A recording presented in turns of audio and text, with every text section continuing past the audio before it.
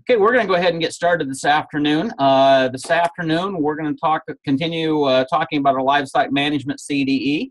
Uh, today, we're going to talk about sheep, predominantly focusing on health management and quality assurance.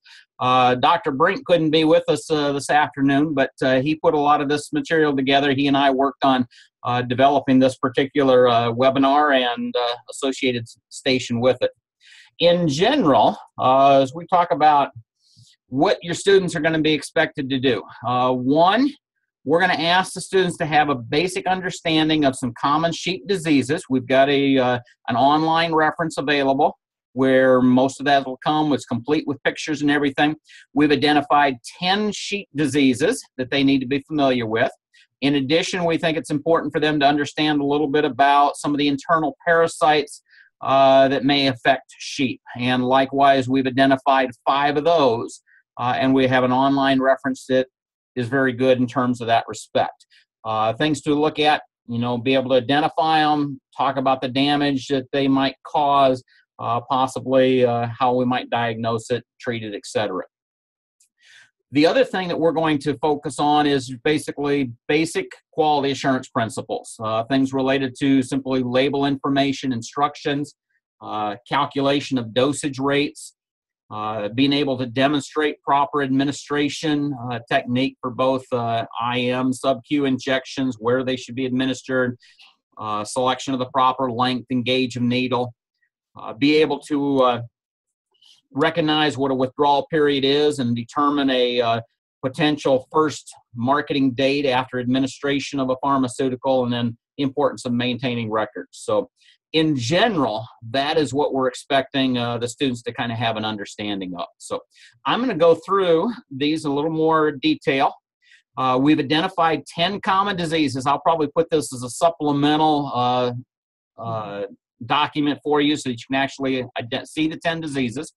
Uh, but I've got five of them listed here caseous lymphadenitis, clostridial diseases, specifically it's enterotoxemia type D. It's commonly known as overeating disease. Uh, it's common with market lambs when we feed them really to grow really fast. It affects the really fast growing uh, lambs. Uh, epididymitis, uh, that is a disease uh, that cause, has an issue with rams. Uh, of course, mastitis with lactating ewes uh, pink eye. Another one that we've got, uh, pregnancy toxemia is associated with uh, ewes that maybe are giving uh, birth to multiple, uh, are giving multiple births, twins and triplets. Scrapie, sore mouth, urinary calculi, also known as water belly, and uh, white muscle disease, which is kind of a degenerative uh, disease of the muscle. So with those are the 10 diseases we're going to focus on. You don't have to focus on any more. I've got a reference here, and I'm going to bring that over to you, give you a, a quick uh, look at what that kind of looks like. But uh, this reference, if you bring it up here, it's called uh, Sheep 101, Sheep 201. It's a beginner's guide to raising sheep. There's a really, it's a good website for sheep production. It's got a tremendous amount of information. We're going to focus on the health side of things in terms of using it related to both diseases and parasites. So what you've got is you can scan down. Now, there's far more information here in terms of diseases than what we're going to talk about. So you only need to focus on the 10 that we identified. But it is complete with pictures along the left side, giving them examples of what stuff looks like. And if your students are into gross looking stuff, this is the place to be. Okay. Um, and then over on the on the right side is basically the description of that particular disease. For example, under clostridial diseases, here is that enterotoxemia type D, classic known as overeating disease. Uh, basically, de- provides a description, says the most common sheep disease in the world, exactly what type of bacterium causes it. Um, says it here commonly strikes the largest, fastest growing lambs in the flock, uh, things like that. So, some basic good information for for them. Now, I'm going to slide that out of the way and kind of go through an example what we might expect. What we're projecting to have students do as a part of this station is one is we may actually put some use take some pictures and from the pictures ask them to identify those diseases now They're going to be limited just those 10 that we gave you. But for example, we might give them this picture right here. Anybody know what I've what the picture might be?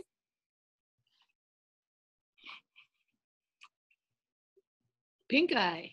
That is pink eye. It is pink eye. Okay. So we may ask them to identify what that picture is. Another thing that we might do is we may actually bring out a live animal. It'll be a healthy animal, but we'll bring out a live animal. And we may say, for this given disease, whatever it might be, describe where you might see the symptoms being manifested in this animal, or describe and show how you would, where you would look to identify issues with this animal. And then, of course, we are, we'll probably incorporate a few general questions. All the questions would come from the information that we're providing you uh, on those 10 basic questions. So, for example, uh, can you vaccinate for this disease? Okay. Uh, and this happens to be pink eye. Can you vaccinate it? If you go back into that reference, it'll basically say there is no no uh, vaccinations that are really work for this disease. So no, you cannot vaccinate. So that's what we would do is we would say they would have to identify it as pink eye. Uh, the scientific term is infectious keratoconjunctivitis.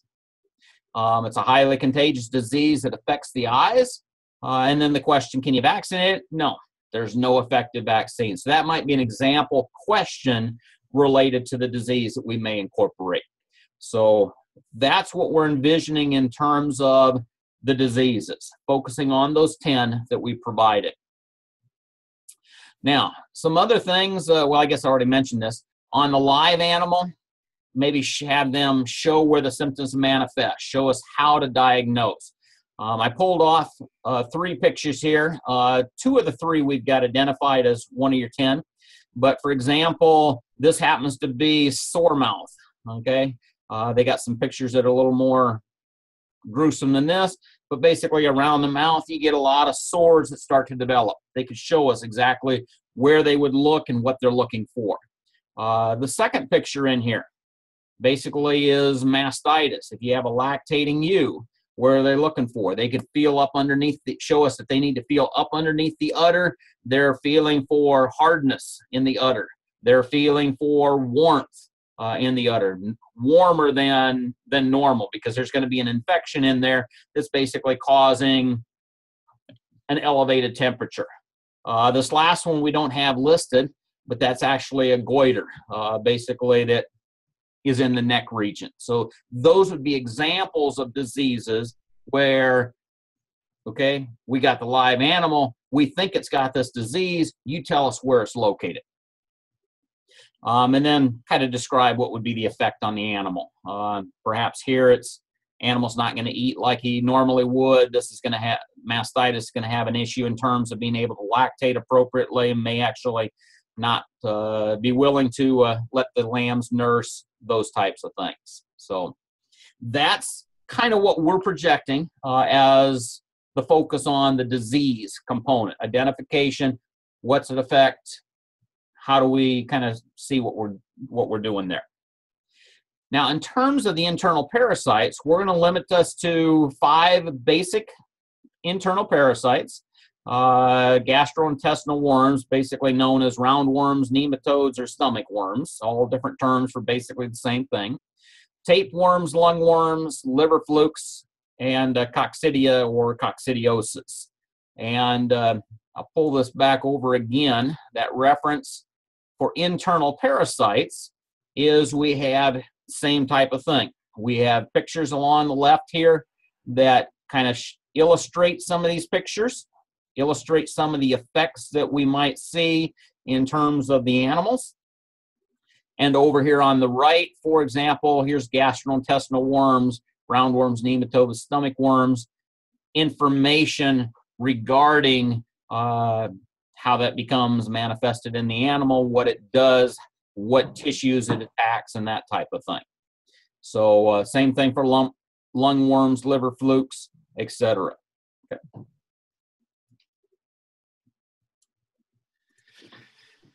Um, just kind of give you some general pictures, and we'll have this. We've got this here. These are some additional pictures of the actual uh, parasites themselves. This is a picture of nematodes or roundworms.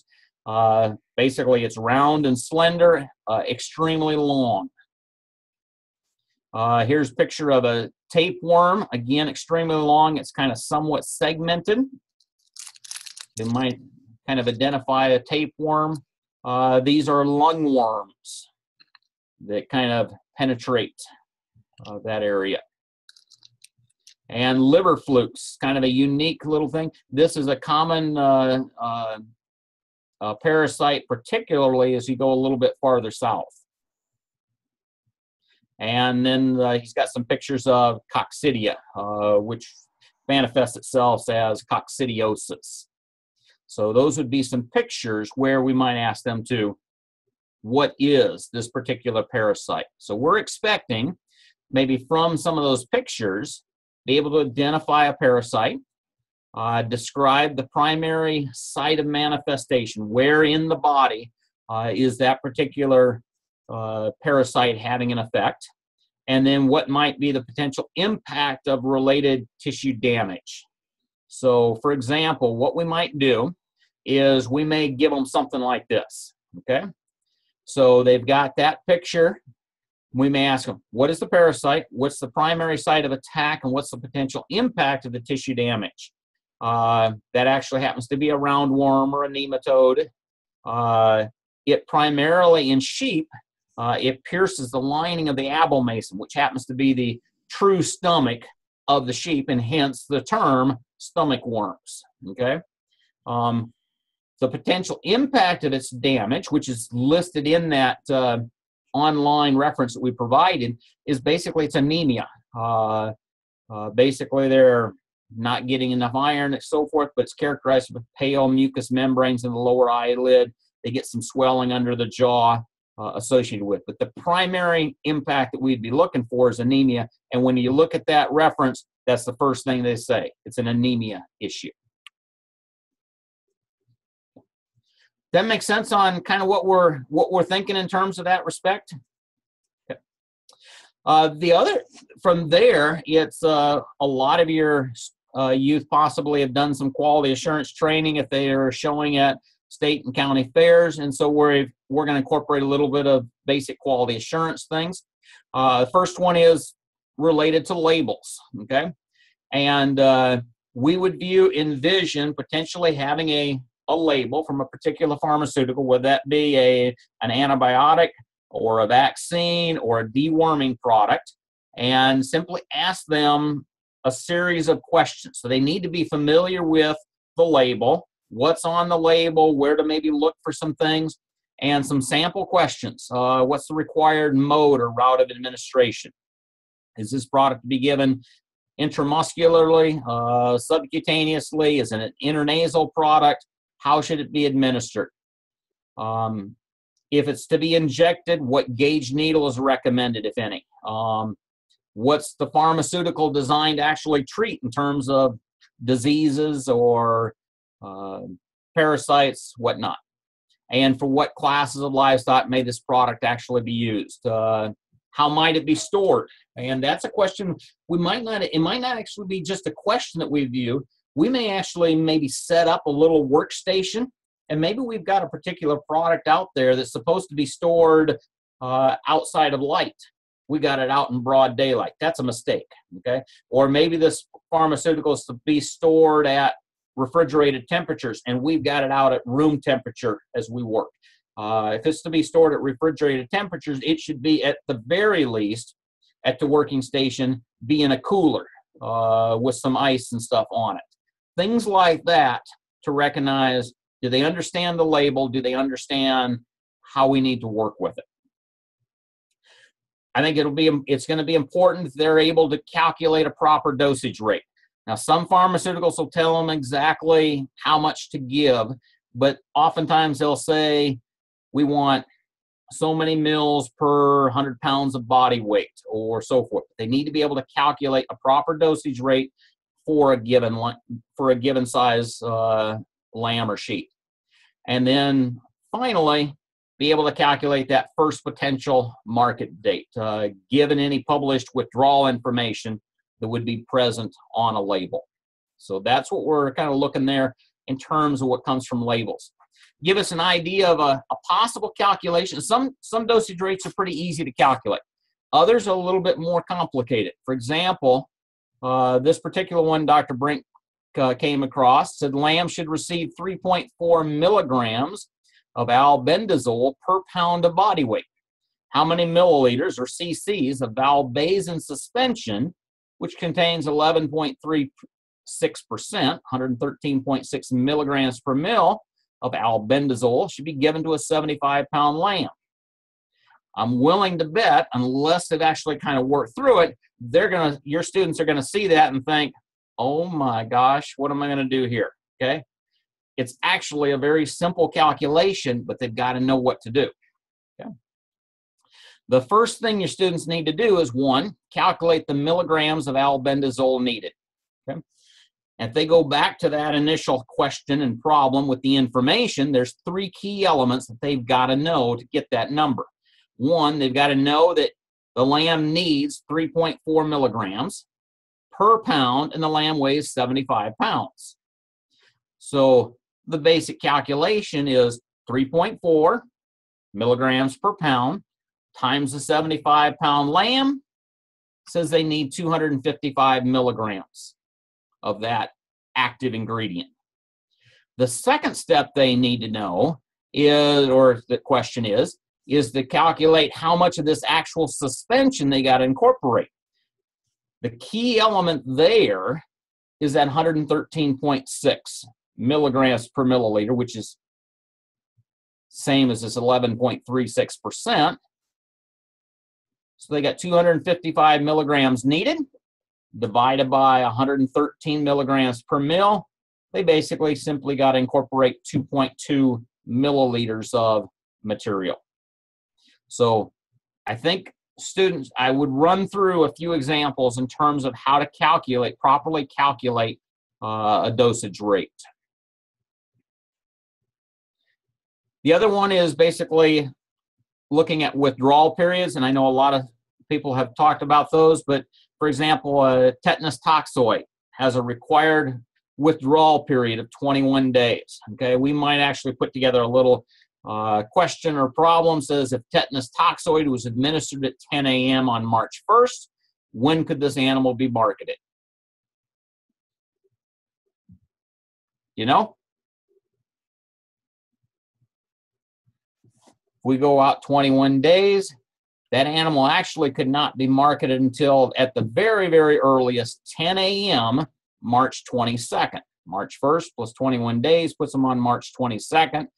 And I guess this is a personal opinion.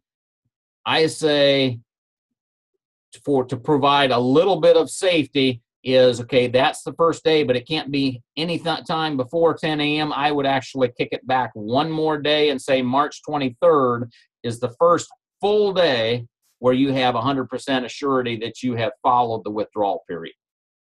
So the withdrawal periods might be seven days, 10 days, 24, and etc.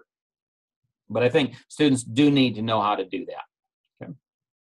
Uh, relative to quality assurance, we were also looking at probably ha- asking students to possibly demonstrate uh, administration of some pharmaceuticals, whether that be an intramuscular or a subcutaneous injection, uh, and to appropriately select the proper needle size. We'd probably give them a host of different needles, select the proper one, uh, give us the proper location, give us a proper technique. If we're doing a subcutaneous uh, technique, even in sheep, they, they actually suggest using a, a tenting method to do that. And there is a manual, uh, and actually it's a really good manual. It's associated, this is with the um, uh, American Sheep Institute, and it is, I'm going to pull it over here. But this particular manual uh, called the Sheep Safety and Quality Assurance Program, put together by the American Sheep Industry Association. And it's like 50 some pages long, but it's actually a really good document. Relative to the quality assurance and the injections here, it's primarily we are looking at, I gave you specific pages, I think 14 and 15 of this. If I scan down just a little bit,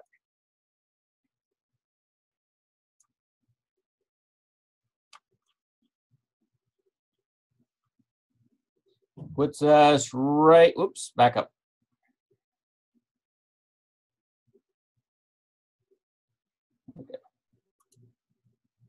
We are right in here. Basically, uh, this talks about administration, injection of products. It gets a number of of uh, inform a lot of information about where things should be go, how much should be injected at any one particular site, uh, those types of things, how often to change needles, etc. Uh, recommendations for when and why to change needles. Uh, right down here is a chart tells you exactly the length and the gauge of needle to provide, whether it be sub Q or IM. So there's like it's a PDF document you can download. I'm basically asking you to kind of look through about two or three pages, basically from about page 14 to 14 to 15. So there's just two pages we're pulling, but that gives some good information in that regards.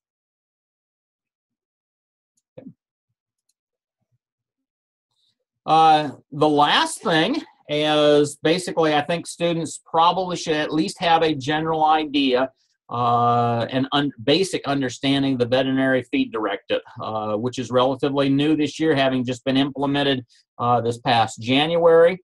One, I think they ought to know kind of what's the purpose of the VFD. Uh, essentially, the veterinary feed directive was put in place so that we can make sure that we're using uh, antibiotics uh, properly, that we are minimizing the risk that we might have in terms of developing resistance with related of, of, antibiotics that are maybe used on the human side. Uh, I think they ought to understand for what purpose antibiotics may be fed. And basically, the directive says is it has to be for a health-oriented issue.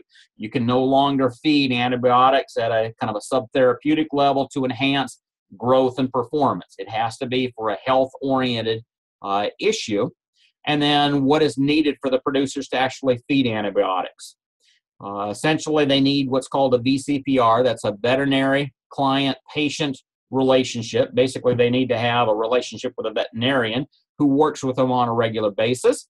And that veterinarian then is the one who actually provides legitimately a prescription, uh, identifies exactly which animals are to be treated, the number of animals, where they're located, uh, identifies a specific drug that can be fed, the level of the drug that uh, is allowed, going to be allowed in the feed. All the feeding instructions, including withdrawal times, number of refills uh, that could be allowed, an expiration date, etc. All that is incorporated into that prescription. And the one thing here is extra label use. Uh, used to be where veterinarians could basically kind of uh, use a drug, and for example, maybe it was approved for usage in cattle uh, given their expertise with physiology and animal health, they could say, I know it, it's approved for cattle. However, if we reduce the dosage to one third of what you would give to cattle, you could go ahead and use it to sheep. That would be an example of an extra label usage. That is not allowed anymore.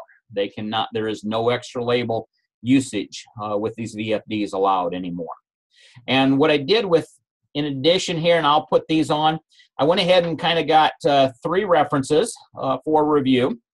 One is from FDA, one is from the Amer- American Veterinary Medical Association.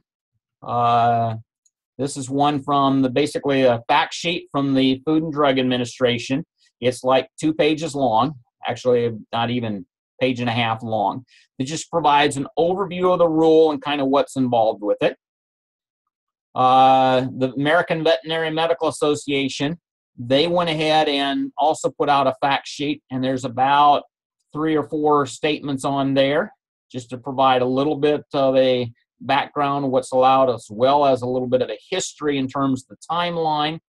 And then the last one I found was one called Understanding the Veterinary Feed Directive. This was an extension publication that was put together out of North Dakota State and it does a pretty good job of putting things together in layman's terms for uh, producers. So I think there's three references there that do a pretty decent job of kind of describing what it is and what's required. So that's what we're basically looking at in terms of the disciplinary focus on health management, quality assurance related to sheep. So I will, if you guys have got any questions, I'll be glad to try to answer those, but that's what we're looking to try to incorporate.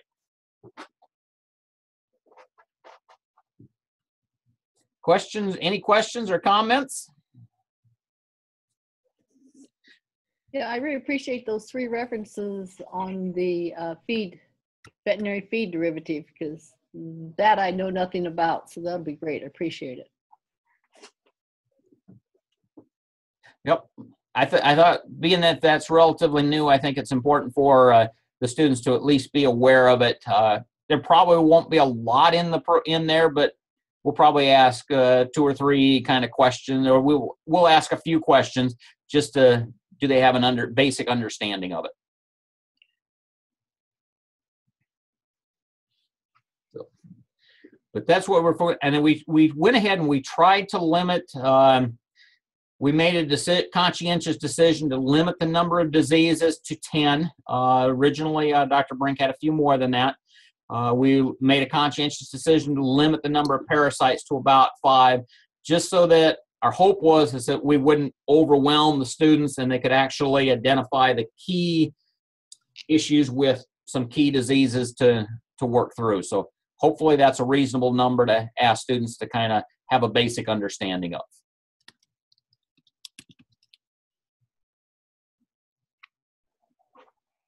Do you envision any um, like vaccine program schedules that they'll have to know? Like, what time of year would you give this, or what would you give to?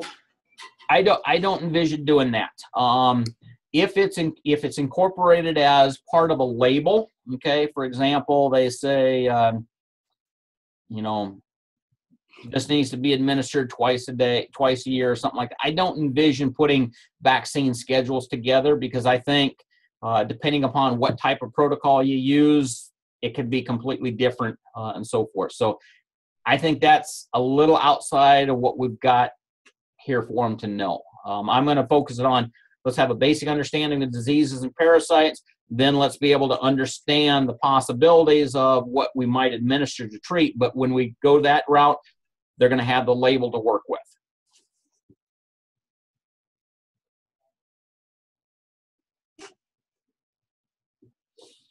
So, anything else I can do for you?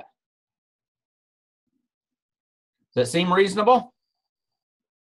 It's nice to have the guidelines to go for. That's, I know last year it was terribly overwhelming. So hopefully this will hopefully this will help in that respect. So all right. Well, I appreciate the two of you joining us today. We got a kind of a thin crowd, but uh, snow and weather changing and other things going on. I'm sure everybody's busy, and I'll go ahead and uh, post the actual uh, uh, this here, the recording of this uh, on the CDE website so it can be reviewed along with uh, copies of all the uh, supplemental information.